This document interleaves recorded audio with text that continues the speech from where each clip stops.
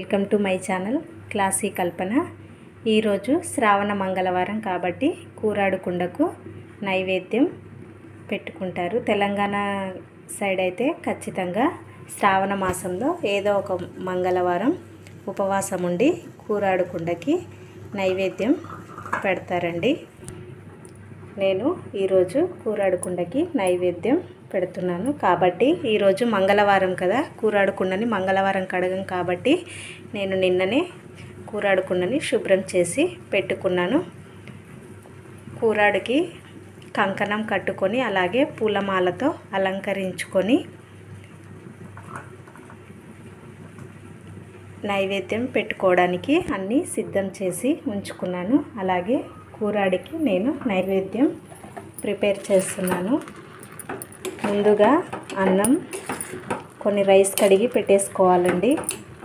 ఆ రైస్ మొత్తం ఉడికిన తర్వాత ఇందులో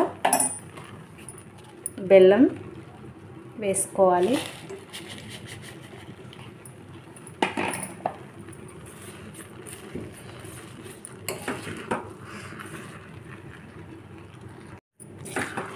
అన్నం మెత్తగా ఉడికిన తర్వాత బెల్లం వేసుకోవాలి. అలాగే ఇందులో కొంచెం ఇలాచీ పౌడర్ వేసి కలుపుకోవాలి.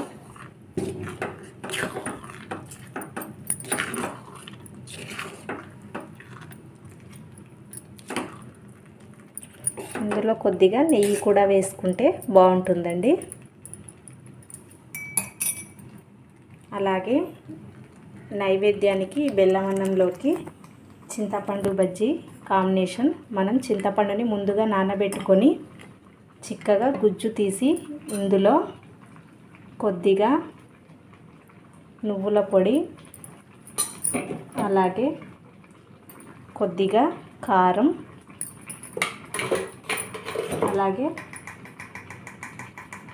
కొద్దిగా సాల్ట్ వేసి కలుపుకోవాలి. అలాగే కొద్దిగా బెల్లం కూడా వేసుకోవాలి. ఇలా కలుపుకున్న తరువాత ఇందులో తాలింపు పెట్టాలి.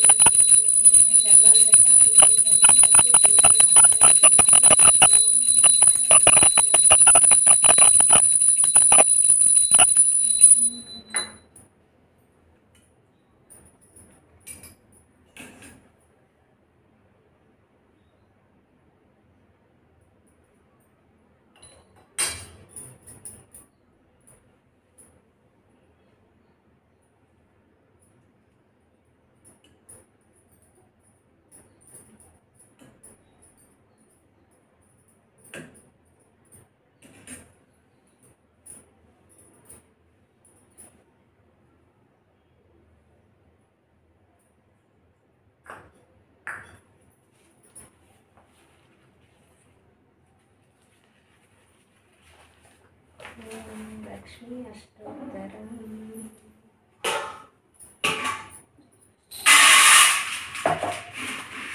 అమ్మవారికి తామర గింజలతో లక్ష్మి అష్టోత్తరం.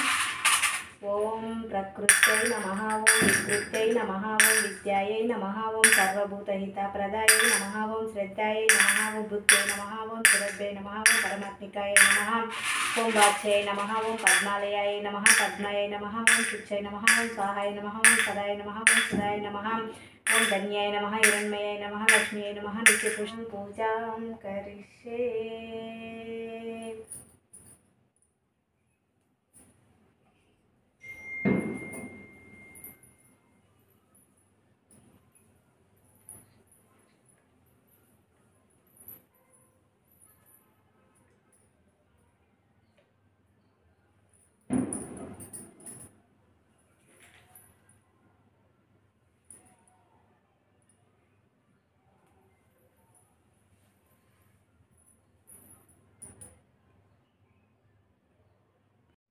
నేనైతే ఈరోజు కూరాడుకుండకి ఈ విధంగా పూజ చేసుకున్నాను ఫ్రెండ్స్. అమ్మవారికి మంగళ శుక్రవారాల్లో మనం నార్మల్గా కూడా పూజ చేసుకోవచ్చు.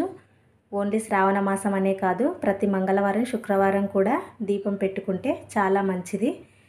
మనకి ఓపిక ఉంటే ఇలా పూజ తామర గింజలతో కానీ చిట్టి గాజులతో కానీ అక్షింతలతో కానీ లక్ష్మీదేవి అష్టోత్తరాలు నూట ఎనిమిది ఉంటాయి కదండి అవి చదువుకుంటా పూజ ఈ విధంగా చేసుకోవచ్చు.